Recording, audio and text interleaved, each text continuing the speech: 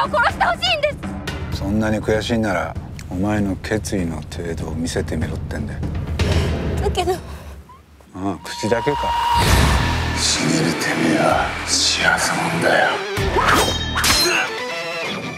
ごめんなさい。名実ともに一刀流を江戸の頂点を極める。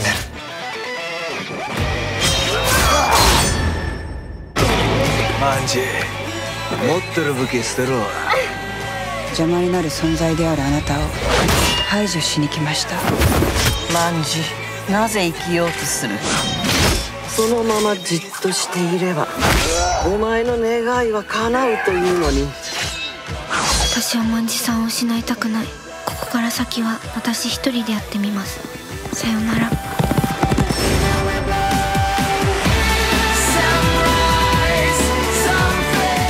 主のおめえが用心棒心配してどうすんだバカ。